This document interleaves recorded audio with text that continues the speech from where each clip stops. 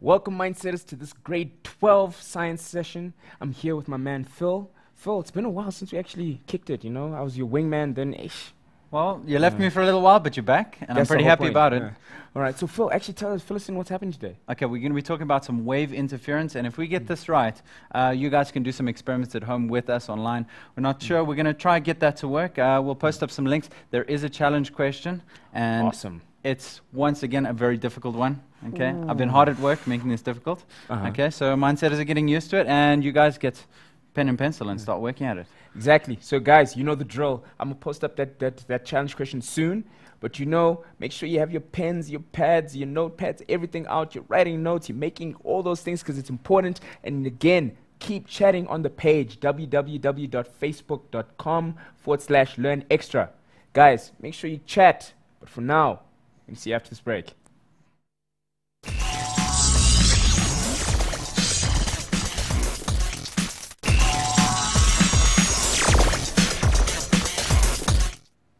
Welcome back, Mindsetters, to the Grade 12 session. Guys, I hope you're ready for this. Science, guys, it's, ooh, and I'm excited about this one because we've got like all these new like apps and stuff that we've put on using Google and all that kind of stuff and the internet. And you know, the interweb is so cool. So, guys, make sure I'm going to post up some links so you guys can also check it out. But, guys, again, as I always say, make sure you keep writing on the page, keep chatting to me. If you're lost anywhere, if you need help, make sure you hit me up so I can get those questions Phil. And I think, Phil, you ready to take it away from here? Absolutely, Ty. Oh, where? Ah, fantastic. Okay, right. Well, thanks for that, Ty. As I said, there's some really cool stuff I'd like you to check out on the web. We're going to try to see if we can get it on air, but that's something that's going to come up a little bit later on. That shouldn't stop you guys. There's a really fantastic link over here. You can go to a fantastic site which has been hosted by Colo- uh, Colorado University, and what these guys have done is they've managed to figure out a whole bunch of experiments and make them virtual.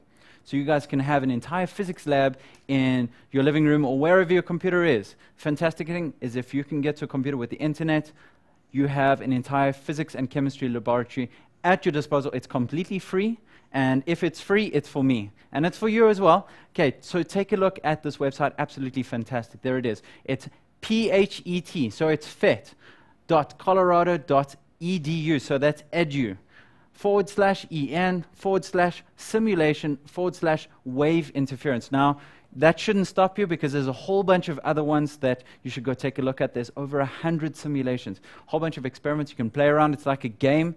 And these guys have been spending a lot of time trying to figure out how to make education interesting. And they've gone and taken some very difficult topics and they've made games where you can go and play and do your own experiments. The particular one that I want you to go take a look at, if you're studying tonight's uh, examination, what we're doing is we're talking about interference in waves. It's a pretty small section in the exam, but it's something which confuses everybody. And a lot of people are saying, well, that's the 10 marks I'm going to forget about. I don't want you to do that. One of the things that tonight's lesson is going to help is, especially if you were struggling, a lot of people were really struggling with this idea of Huygens' principle last week. We're going to be talking about interference of waves as they cross over each other. We're going to be talking about interference and that sort of stuff. A whole bunch of complicated words. Don't worry about it too much. Okay, well, let's get stuck into it. Let's start talking about interference and waves. So let's get right to it. Okay, this idea, interference. Now, most of you guys have in experienced interference before because interference happens to you at home. The dog is barking, your little sister's making a noise, the mother's making a whole bunch of noise inside the kitchen. Interference is when two things are happening at the same time. You're trying to think, they're trying to make noise, or they're trying to play outside, or there's a dog barking. Interference is what's happening when you've got two waves meeting at the same point. And I call this superposition. Now, superposition, I'm just going to highlight that word because it's really important that you know this. When they're marking your exams, they're looking for this particular word. Now, superposition. Now, superposition, there it is in yellow, nice and bright.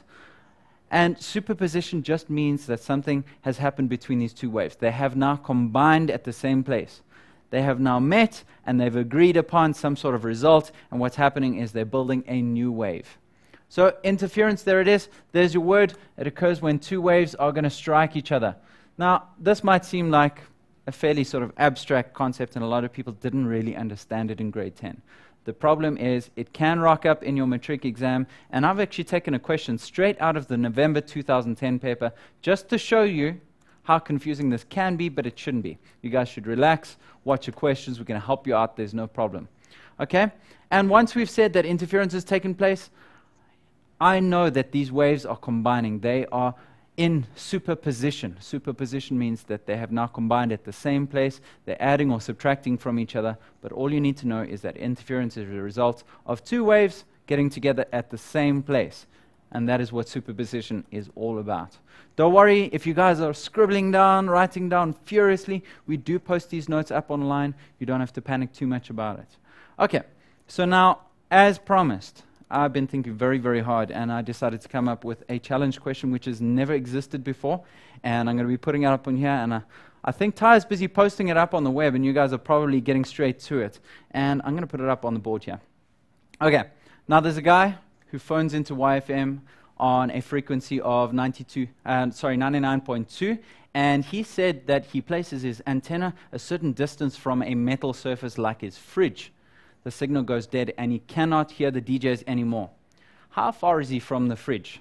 Now, this is such a tricky one. Let me try highlight some of the important information while you guys are busy taking this down. Hope my producer is going to hold this up for a little while. I'm going to highlight this with you. So let's go through this. I know that this guy has phoned YFM. It doesn't really matter who it is, except that tells me the frequency of 99.2 megahertz. Okay, so anyone wondering what that MHZ means?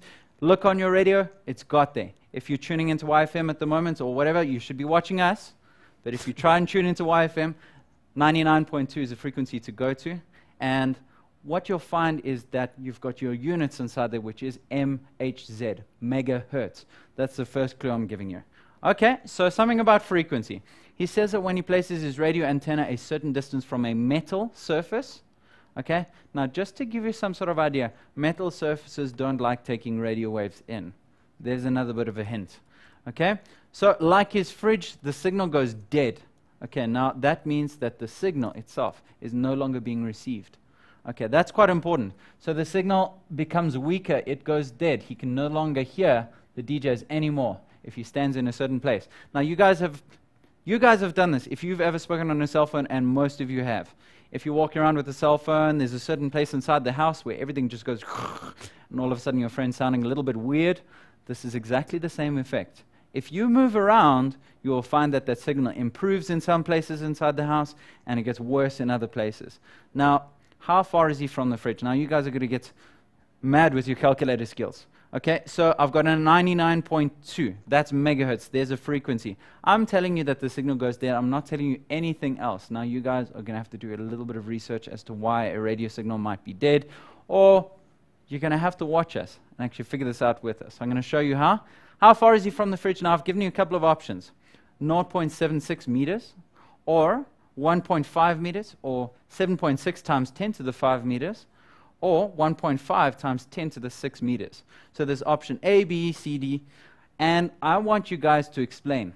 A lot of you guys just start guessing, type, post up the question, and you just get like a lot of people saying, no, it's definitely D, no, it's C, it's B, whatever. I don't want you guys to guess. The really cool thing is, if you post that correct answer and you start explaining, you guys start discussing, start using our Facebook page, and you start helping each other out.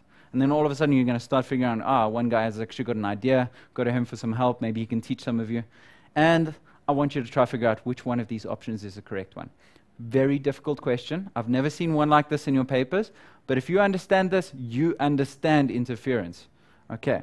So once again, I've got my frequency my radio waves, and that's quite important. Okay. Now this is a radio. Just remember that radio signals are waves as well. And you see a certain distance from the metal surface. That's what I'm asking you to find. There's your options. I want you to calculate. Get out that calculator, start drawing things, start drawing diagrams. We're going to be back with you. And uh, we'll solve this a little bit later on. But let's get into the meat of this, this lesson. So I'm pretty sure that by now Ty has worked hard and he's posted up question. He, he tells me that it has been. You guys have got it. You've got everything you need. Fantastic. Let's carry on with the lesson. Okay, well, let's start playing around with this idea of when waves are in phase. Now, this is a word that some people have really struggled with. Okay, there's a lot of very complicated terminology, and people are saying, take it away from me. Now, you don't need to be panicked when you start taking a look through this. I'm going to explain each one to you, and we're going to try to figure out what these words mean. Okay, Now, let's underline the difficult words and let's try to figure out what they mean. So it says when waves are in phase. Now, when something is said to be in phase, now that's quite an important thing. In phase means that they are doing the same thing. Now, that's the basic idea behind this. Now, that means that they are the same part on two different waves. And I'm going to show you on the picture. So they are doing the same thing. Now, if you are said to be in phase with somebody, let's say you're walking along, bunch of friends or whatnot, and you start walking, and you start walking in phase, that means that your feet are moving in time with each other. If you guys are dancing in a line, your feet are moving in the same time. You are said to be in phase. You guys should be in phase with the music. The beat as well is a phase. So when your feet are touching the ground at that right time with the beat, what's happening is I'm in phase. Now, this is the next word. This is something that people struggle with. Now, I understand some of you said that the red is not so great on the page, so we're going to move to a different color. Okay, constructive interference. Now, I want you to start thinking about where you've heard this word, constructive. When your mother says, Ah, go do something constructive, that means that I must do something with my time which builds up my knowledge, which builds towards something good. Now, constructive interference means that waves are getting bigger than they were before. They are performing construction on top of each other. Now, construction builds something. Construction is definitely some sort of building. So that's what that word means. When I start to build the waves, that's what I'm talking about. Okay? So if I'm performing constructive interference, I'm building things. Let's look at this diagram. What I've decided to do is I decided to have a wave sum. I've taken a top wave, I've taken a bottom wave, and I'm going to add them together. I'm going to perform constructive interference. Now, this is a very confusing thing. I want people to see that these are two waves which must be existing at the same place at the same time. The hard thing about that is I can't actually draw them over each other because then they're going to look like the same wave. So there's wave one, wave two, and the result is a bigger wave as a result. Now, we know what two waves going to make a, another wave is called. We call this a secondary wave. Two smaller waves are making a secondary wave over here. Let's find the pieces which are in phase. Now, if I take a look at some of the pieces on this wave, I might recognize them from grade 10. I've got a crest over there. There it is. Let's make sure that we can actually do this in the right color. There we go. Ah, there we go. Nice bright green. Okay, so I can see that a crest is going to be on top of a crest. And one thing on top of another, it's going to build up to something even better. So I've got one crest, another crest, and I've got a really big crest as a result. You can see that if I draw this from left to right, let's actually make a nice line as to where we were. There we go. You can see that that wave has gone from being very small to being quite large. I've taken two small waves and I've built it up. So what's happened is two crests have made an even bigger crest. So let's keep it in the same color. So what I'm finding is that constructive interference happened. So I've got constructive interference. I've made an even bigger wave than I did before. Now, it's like one guy pushing a hill of sand over another hill. What's going to happen is the hill in between is going to be much bigger. He's got to push it over that second hill. What about the bottom pieces? Let's take a look at that. Let's switch to yellow, and I want you to follow me to the bottom of the wave. Right down in the bottom. Right down inside the bottom, I will find myself a trough. I've got a trough, and a trough makes an even bigger trough down at the bottom there. You can see that if I've got two of the same, this is what it means to be in phase. Got two crests, two troughs, they're doing the same thing, they're working together. This is constructive interference, is when the two waves are working at the same time. So you guys dancing to the beat, that is constructive interference. So, if I've got parts of waves which are in phase, I say that they are constructively interfering. Okay, I hope everyone's managed to get that. I will come back to this in a moment. Uh, I'm sure that we're going to be posting some notes online, so if you're scribbling this down and you're not sure if any of this makes sense, don't worry too much. Okay, so let's carry on with this. Okay, what happens when these waves are not in phase? So in the last one, I said, okay, well, let's make the, the crests as green. There we go. We got green, but now, here's the problem. I've got another crest, but you can see that the crests are not in the same place at the same time. What I find is I've got a crest and I've got a trough, and they're doing opposite things. They're running in opposite direction. I'm so sure you guys know about that person that's not dancing in beat and they're singing out of phase, and you can hear it doesn't sound very nice. They're said to have a flat voice. Well, this is going to make a flat wave. So if I've got two things which are doing the opposites, they're going to cancel out. One goes up, one goes down, they don't agree. What happens is exactly nothing. I actually find that the wave goes dead. There's your clue for your challenge question. Something is happening in the lines here. Let's look at the language. Okay, so now I can see that I've got something when waves are out of phase. There we go. Out of phase. There we go. Out of phase means that they're out of step with each other. They are not agreeing with each other. I can see that this wave is not in phase because I can see that the green doesn't line up with the green, okay? And I find that green and yellow, they're going to cancel each other out. That's when I get destructive interference. So, destructive interference is when I'm destroying, I'm breaking something down. If you are being destructive, you're breaking something. Okay? And over here, the waves are breaking each other. They are causing each other to cancel out. Now, what you'll find is that the place where this happens sometimes is called a node. So let's just make some notes as we go along. There we go. That thing, that place where the waves are canceling each other out, where there's destructive interference happening, I find that that region where destructive interference takes place is sometimes called a node. And a node is that point which is flat. So very often, you'd be looking for a node if you couldn't hear the radio. And there's another clue for that uh, earlier challenge question. Okay, so I'm pretty sure that people are going wild on the page, starting to discuss how to do this. I can see that Ty's shaking his head, and people are going mad on this page. That's fantastic. So you've got constructive, you've got destructive. We've already given you a little bit of a clue with this slide as to how to go about that question. All right, so when waves are out of phase, that means that they're out of step with each other. Destructive interference is happening. Okay, well, let's take a look. Let's summarize what constructive and destructive interference is all about. Uh, while we're waiting, there we go. We're nearly there. Let's just summarize this. I'm going to put this up on the page. So, just to summarize, destructive is when I cancel out. When I've got one going up, one going down, they cancel out, and I get no wave at all. Constructive is when I've got building up. They are in phase. I know that these two waves are doing exactly the same thing. So let's just highlight that. Let's just make sure that people understand this is out of phase. I'm just going to write this all nice and skew here. So out of phase. And I'm going to show you what that means in a moment. One of the really fancy gadgets that this board has got is I can allow two waves to move over each other. Now, constructive interference here, this is when waves are in phase. That means that they're talking to each other nicely. They are doing the same thing at the same time. When I say that you're on the same page, we are in phase with each other. So let's talk about out of phase, in phase, and let's actually start to go and see how this might happen. So what I've done is I've taken two of these waves down here at the bottom. Let's just extend this page. The really cool thing is I can move objects around on this board and we can actually put these waves over each other. So I'm going to leave the one wave on the one side. Now, one of the really cool things that you can do is you can move these waves over each other. Now, I want to show you what I'm talking about.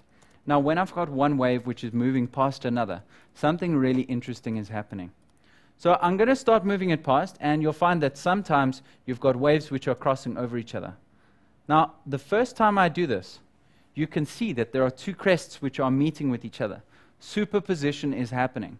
So what I'm going to do is I'm going to draw a new wave. So if those two crests are crossing over each other, I'm going to do that again. And I'm going to draw in a new wave. I've got one crest and another crest, and they are meeting with each other. So I'm going to do that again very, very slowly. You can see this happening when two waves are approaching each other, and I'm going to get the left one to approach the right hand one. I've got one crest, and it's coming towards the next crest. So I've got two crests above each other. What's going to happen is I'm going to get a brand new wave, and there it is. It's going to be it's going to be a really, really big wave. There we go. Let's draw it in for you. So I'm going to get a really massive wave. That's what I'm going to find actually happens. That's going to be my new secondary wave. I'm going to get a brand new, much bigger wave. Okay, well, let's see what happens when I don't do that. Let's move that out of the way. Okay, let's go back there and let's see what happens when I move it a little bit further. I'm going to move this wave, and this is what I really like about this. I can see a crest and a trough are now meeting each other what you're going to find is that when crests and troughs meet each other, let's actually do it completely. What I'm going to do is I'm going to move these waves over each other, and you're actually going to see that there's going to be multiple overlaps. There it is. I'm actually going to see that I've got a crest and a trough, a crest and a trough. What I'm actually going to find is a brand new wave, which is going to be absolutely nothing. You're going to find that these guys are going to cancel out. They're going to make zero wave. There will be destructive interference. There it is. There's my new wave. There will be nothing as a result. That will be completely destructive interference. Okay, well, I hope that people are coping so far. What I think we should do is a short ad break. What do you think, Ty? I think that would work. Okay. Because I'm getting most of the comments on the page are, yo, what a question. okay, well, it's a mean one. yeah, it's a tough one, tough one. But guys, good things don't come easy all the time. So make sure you guys just keep working at it, keep working at it, and you will crack it. But for now, guys, we're going to take a little break. Make sure you go get something to eat, just get a little snack. Make sure you're fueled up for the next round. And we'll see you after this break.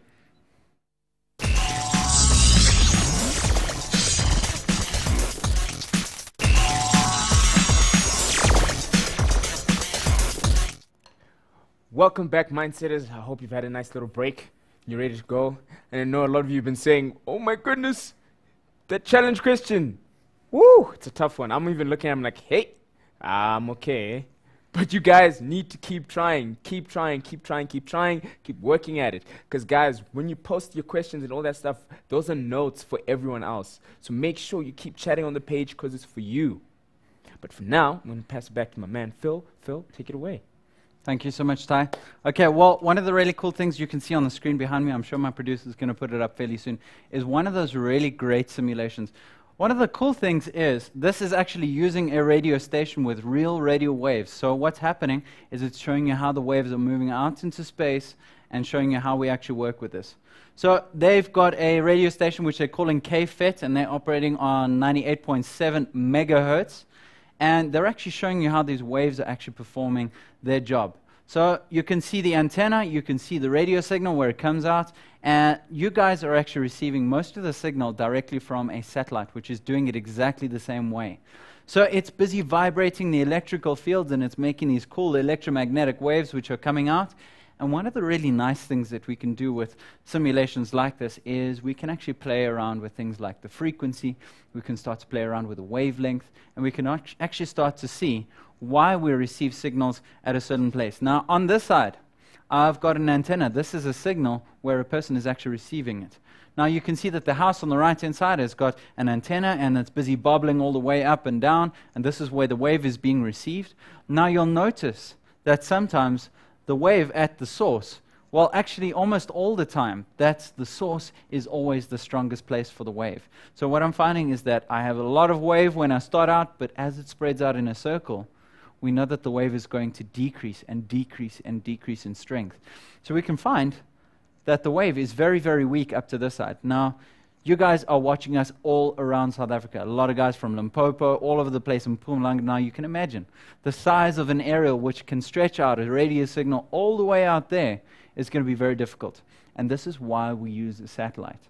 So somebody asked, why do we talk about interference? Why is interference important? Okay, well, let's actually go back. And one of the biggest uses for constructive interference is actually this dish. You guys have seen this dish. Some of you are using this dish right now to see us constructive interference actually makes the signal stronger. Remember that this signal is going all the way from Randburg in Johannesburg and it's being shot out into space, okay, 100 kilometers straight up. And then what's going to happen is a, is a, a radio antenna is being picked up inside the satellite, and the satellite is going to amplify that signal. In other words, it's going to make it stronger and send it down to Earth. And most of the bottom part of Africa is actually being shone on by the same satellite. So you can imagine this radio signal from Randburg out to the whole of Africa is going to be quite weak. Now, you, can, you guys can see us. We are nice and bright in color. The only reason that we can do that is because of this amazing device. It's shaped a little bit like a salad bowl. It's nice and dish shaped. Most of you have actually seen one of these things before. This really cool thing allows us to constructively interfere waves. So, what happens is that these waves are coming from outer space, and we're going to find that these waves are going to be striking the satellite dish and they're going to be received down at that bottom piece. Now, it's going to collect waves from all over. It's going to collect waves from a large area and reflect them all to the same place. So, we're going to find that waves, no matter where they strike the dish, are always going to land up on that same spot. So, I haven't drawn in the wavefronts because it gets a little bit messy, but I'm going to do that right down at the bottom. You guys might remember this from grade 10, but you didn't know that this was constructive interference.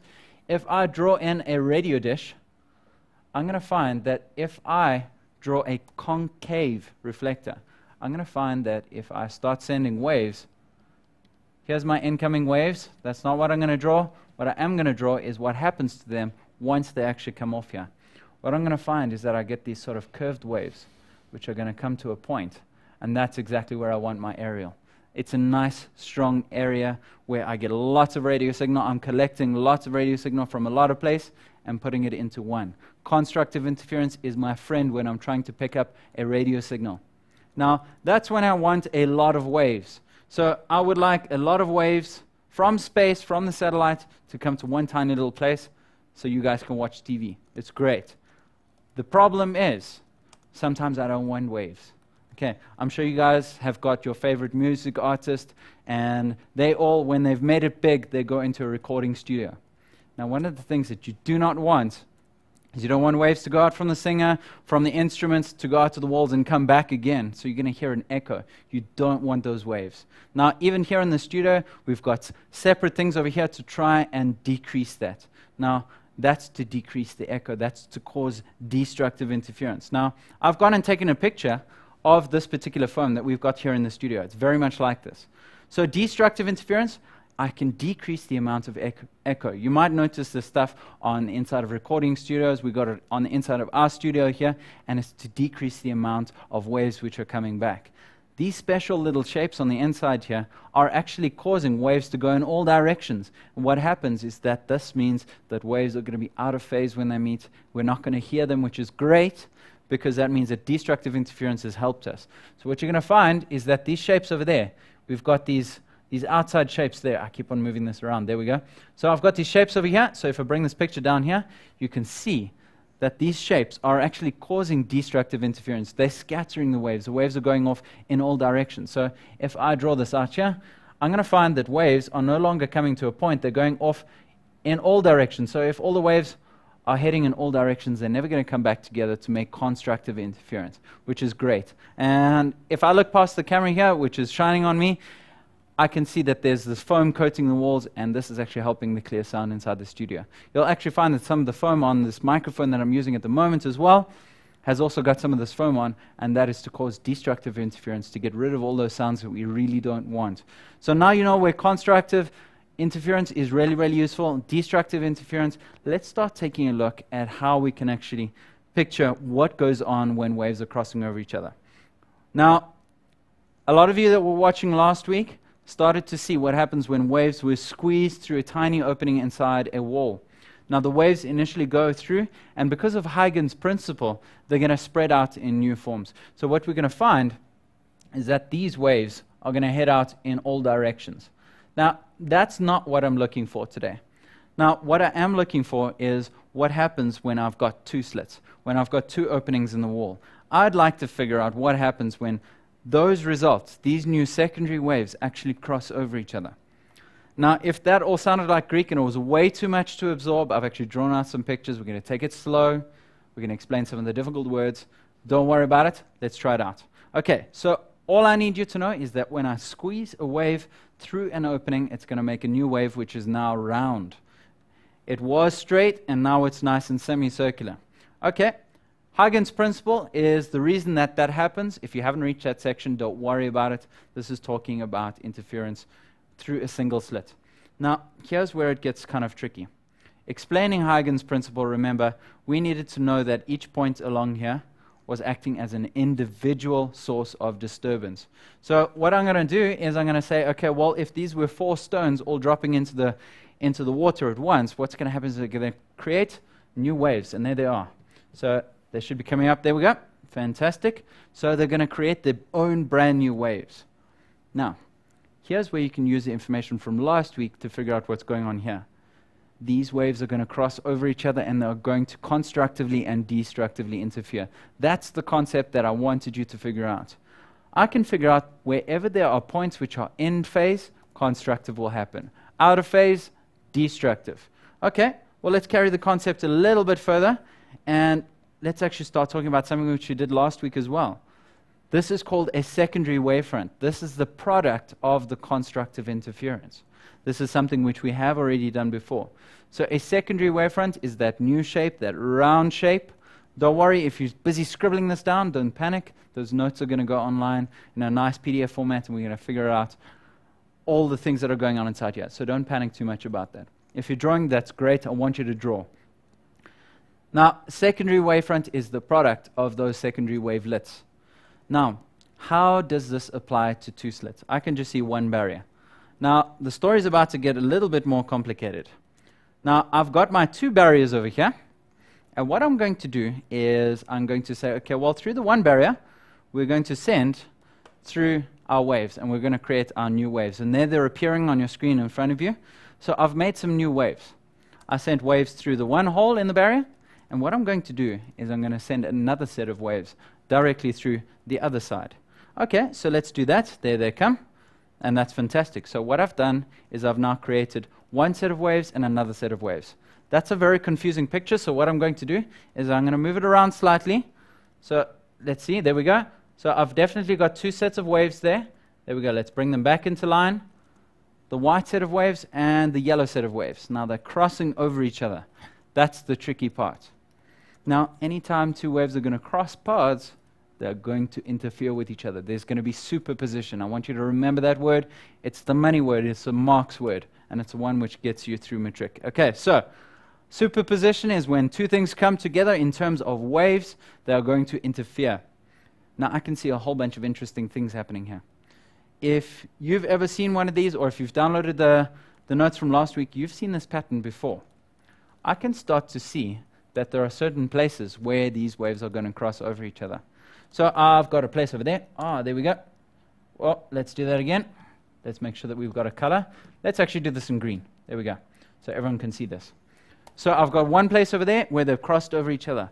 I do it again, and I do it again, and again, and again, and I actually start to notice something very cool. I start to notice that the same point on two waves is coming together. Not only that, they're doing it in a very nice straight line for me. Let's see if there's any other places where this might be happening. Well, I see it over there. And there we go. And when the, when the waves start coming back here, here we go. Let's just make sure that we've got the correct color pen. There we go. Again and again and again. There we go. And right down at the bottom here, we can start to see that pattern again. What we're starting to see is straight lines where constructive interference is starting to take place. That's really cool. Okay? I want to emphasize how amazing this is that it actually makes these really cool straight lines, and you can see this. If you guys are playing around on PhET, you can actually start seeing this in that wave interference program. Okay, so now that I've figured out that there's straight lines, who cares so what? What is the point? Okay, well, this is called the double slit diffraction. Now, when I start talking about diffraction of light, this is happening through two slits. So let's just give this a label, and this is called double slit diffraction because there are two openings. There we go. So double slit diffraction. So now this is when I've got two slits and I'm performing diffraction because diffraction is from interference. So the diffraction of light happens through double slits in this way. I've got two sources of waves, they're crossing over each other. Now I want you to think, when two things start crossing over each other, there's certain places where they actually match. That's where the interference is going to take place. This is an above view, and one of the really cool things that happens when you start doing this is you can actually start to see the results of this. So one of the really cool things, what I'm going to do, uh, there we go. Let's bring it up. Aha.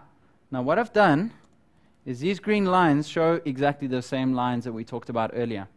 These green lines are showing constructive interference. And if you project this onto a screen, if you try to show this on a screen, one of the really great things is you can actually start to see these produce light bands or bright bands. Now, this is where the exam questions come in. I start to talk about places where there is maximum brightness. Now, what I've done is I've drawn a graph in here. These green lines show you where the maximum brightness is going to take place. You can see that the middle one is the brightest. That is where constructive interference is taking place. There's places in between there which are not as bright, and those are where destructive interference. So there's my destructive band, that is a dark band. So destructive is where it's dark, and constructive is where it is light. And we seem to be doing quite well on the time here. I'm not sure. How's the page going there, Ty? Everyone is still answering. I just told the guys just make sure you're also putting how you got there because I'm getting Absolutely. last week's thing. Hey, no, it's B. No, it's C. I'm like, guys, come on. Put your working there. Yeah. Fantastic. Okay, well, Ty, guys, keep on asking the questions. I'm sure that there's one or two of you out there that have managed to solve this. Those of you that are guessing, we're not going to say yes to you because you aren't explaining yourself. Okay, because I want a full on explanation. And this is also going to help nearly 10,000 mindsetters. Like, I, I noticed the page is getting It's on for there, getting 10,000. there, yeah. So that's fantastic. You'd be helping all those people out there. Okay, so now that I've figured out where the destructive interference is taking place, the maximum brightness is where I've got constructive. And constructive interference is the stuff that I want if I want a light band. So if that is constructive, there it is. Okay, so constructive interference is where the maximum brightness is going to take place. Okay, now this all seems very, very complicated. A lot of people are saying, but how are we going to be asked this in an exam? I'm going to show you exactly how, because I'm going to bring up a question, question seven, out of the November 2010 paper. It was a mean question because nobody expected it, because they said, ah, this stuff is grade 10 work. They didn't revise this for grade 12. So let's bring it up. And there is a lot of writing inside it, and I just want to make sure that people are okay with what's going on there. Let's figure out some of the factors which are going to affect this. Okay, now interference patterns like the one that we saw are going to help us answer that question. Now, there's some of the things that you can change about that interference pattern. So let's figure out what these factors are. Well, first of all, shorter wavelength. This means that I've got more interference. Why? Now, shorter, shorter wavelength. Now, one of the things that you'll notice is that a shorter wavelength means that there are more waves in a small space. And a shorter wavelength is at a high frequency. Now, this is one of the problems that cell phones have got, is that because they operate at such a high frequency, there's a lot of places inside a building where interference can take place. Now, if you've ever been walking around on a cell phone and all of a sudden your friend sounds a little bit like, what's happening over there is that you've got interference happening on your cell phone signal. That high frequency means that there's lots of little places inside the building, because of the way that the building is shaped, that interference is taking place. Okay, that means that the bands are going to get smaller, everything's going to become more complex. I'm going to find that there's going to be more bands. Okay, one last thing before we get on to that question, as I said to you. Well, if I've got a further distance between the slits, I know that this results in a narrower band. So I find that the, the band itself gets smaller and smaller. That maximum gets closer and closer to the middle. So we, we're actually going to find more bands as well. So it might be worthwhile just putting in that extra note. I noticed that I've, I've got a larger distance between the slits. That means that they're going to cross over each other from a distance. That means that I'm going to get more bands as well. So if I've got more bands, that means that it's more complicated. Okay, that's a very common question that we, we get in the studio here is how do you figure out how these two things? Now, the wavelength or the frequency, now remember, if you're playing around with PhET, it's very nice to see the relationship between frequency and wavelength. They are inverse. High frequency means small wavelength. Very nice to know that, and I want you to play around with some of those programs. There's over 100 simulations there. Okay? So what we're going to do is I'm going to post up that question quickly, and I just want to get you guys exposed. Now, this is a very complicated question, a lot of writing going on. I just want you to show how they actually ask this in the exams. They talk to us about red light, which is passing through a double slit, and there is the pattern. This is directly as you'll see it in your matric final. Okay, don't worry too much about taking this all down. I think it's time for a short ad break before we head into the final stretch. What do you think, Ty? I think so too. I think they need a little bit of a A little bit of a breather. Mm, to gain their composure because it's still on the page like, yo, this question. Yo, I'm seeing fire. Okay, well, that's good. People are trying. Means that you're at least trying and you're working hard at it. But guys, all I can say is just keep cracking at it. Just keep going, keep going, keep going. But for now, we're going to take a quick break and we'll see you soon.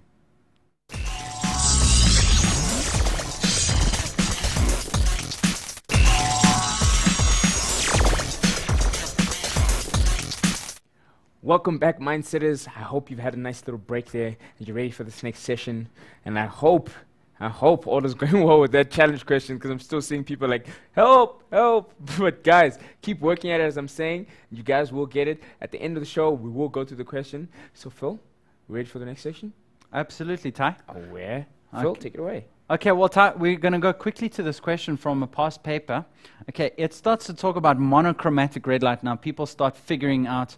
Now, there's so much information on here, and it's really tiny on your screen, so I'm going to guide you through it.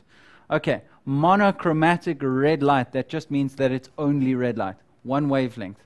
It passes through a double slit, as shown in the diagram below. Circular wavefronts advancing towards the screen. Okay, whoa. Let's just take a little bit of a step back and figure out what they're saying.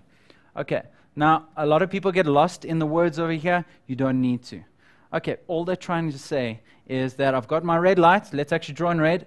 My red light is going in through the bottom there, and it's heading outwards in all directions like we were showing earlier on. That's all that's happening over there. They're just showing you that the red light is coming through the slits down at the bottom, and they're heading out in different directions. So what they're showing you is that I've got the slits and the solid lines represent crest. Now, that's quite important so what I'm showing is that the solid lines represent crests and the dotted lines represent troughs. Let's do that in a different color. Okay. Now what I want you to see is that crests and troughs are going to be meeting at different places. So remember that.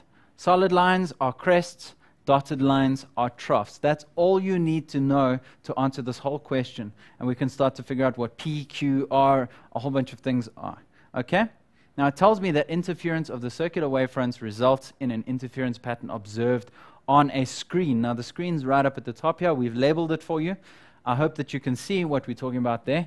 And uh, there's so much information. I try to make this as big as possible, but I wanted to leave it exactly the same way that you see it in exams, just to show you what it's like when you get to the end of the year. Okay, now this is exactly out of the November 2010 question 7. Okay, so November 2010, if you're practicing this, paper one. Okay, paper one is always your physics exam. Okay, so let's take a look at some of the questions that they start to ask me. Well, they want us to define interference for two marks. Okay, now they're looking for a couple of words over here. First of all, they'd like to know that two waves are going to pass over each other at the same point at the same time. We talked about this earlier. And another word, superposition.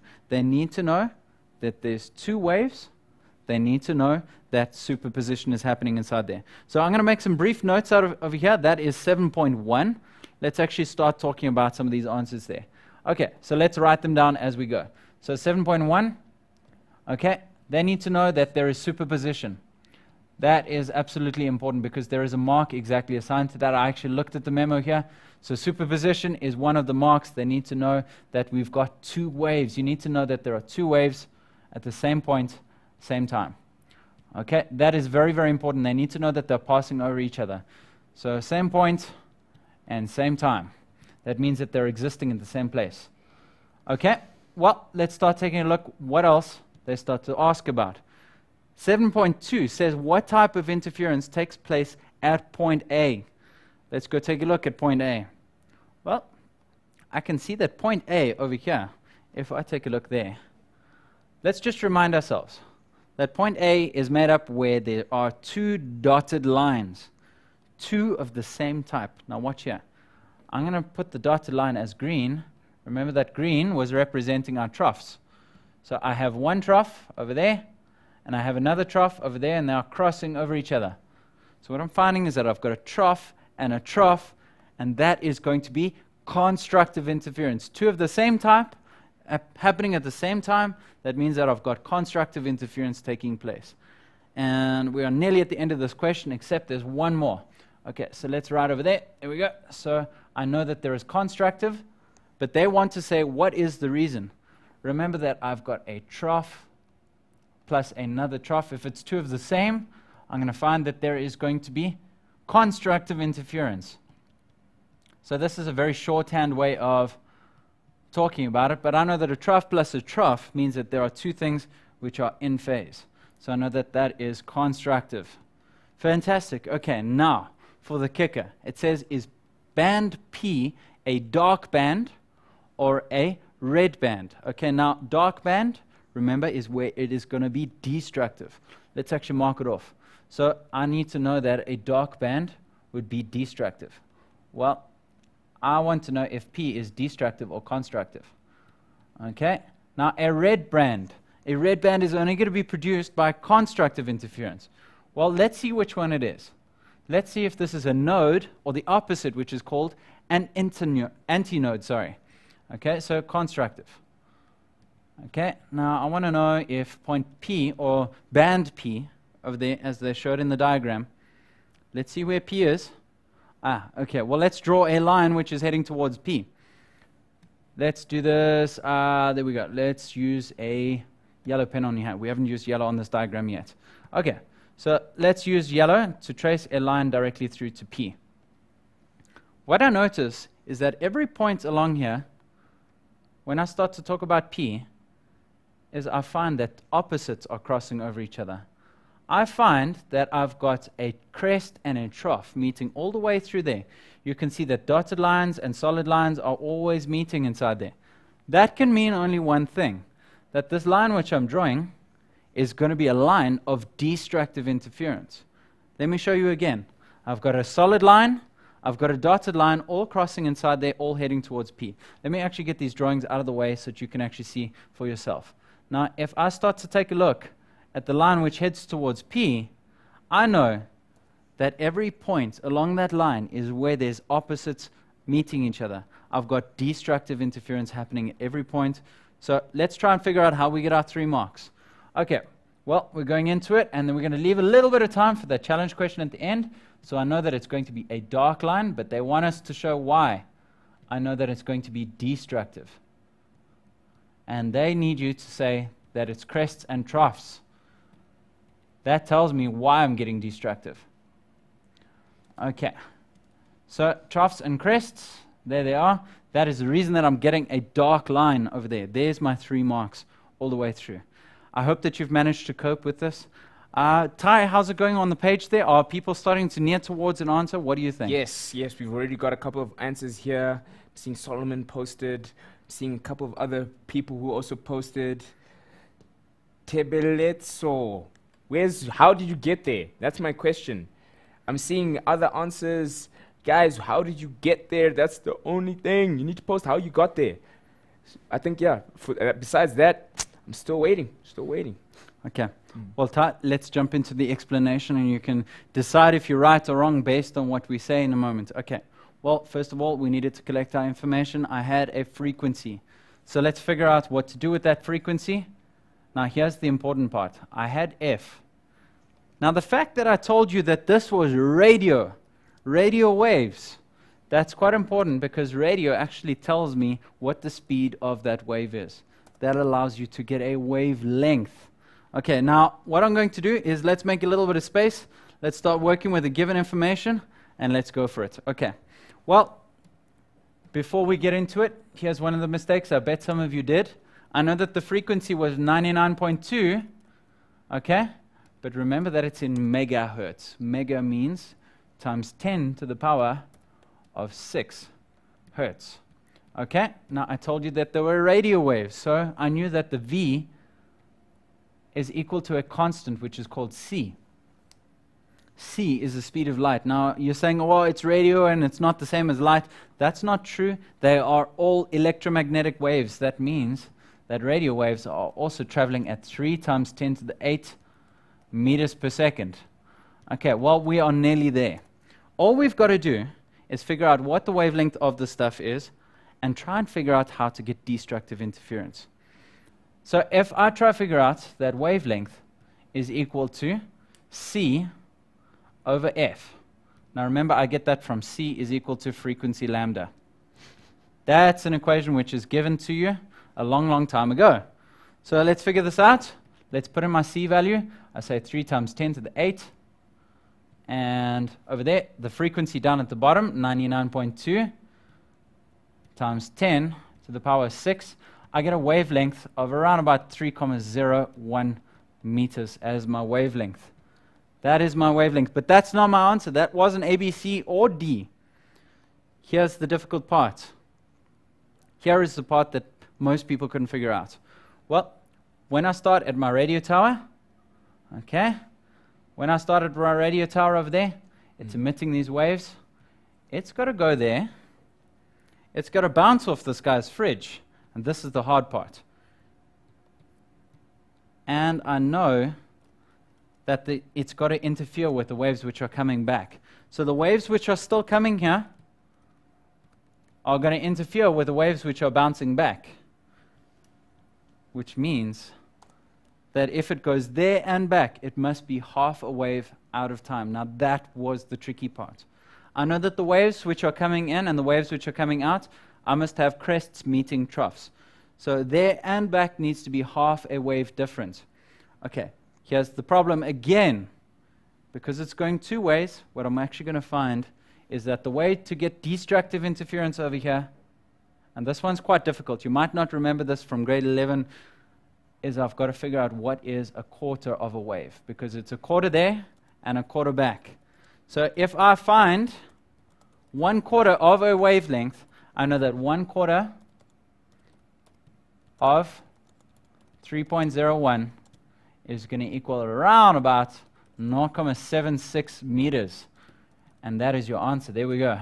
A is the answer for today's challenge question. Okay, really, really difficult. I'm just going to run through it again.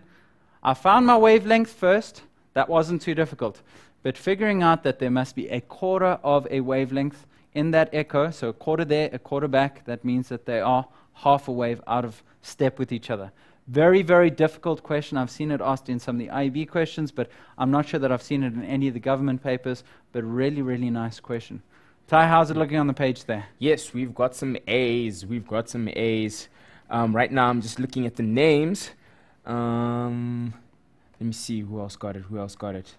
In fact, for now, I think just do a quick wrap up. Absolutely. Let everybody know. Yeah.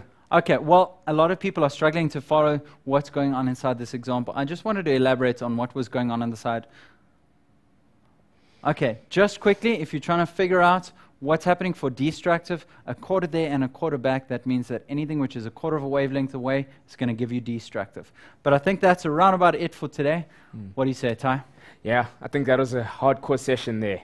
Everyone seems to have liked it on the page. Good. And yeah, I'm seeing Solomon was, had already the A and everything. So he was good to go. So guys, I had fun. I hope you had fun. Make sure you always, always, always use the page. Chat, chat, chat. Invite your friends. Make sure you come to the page. And from me and Phil, we're saying peace out. See you next time. Bye.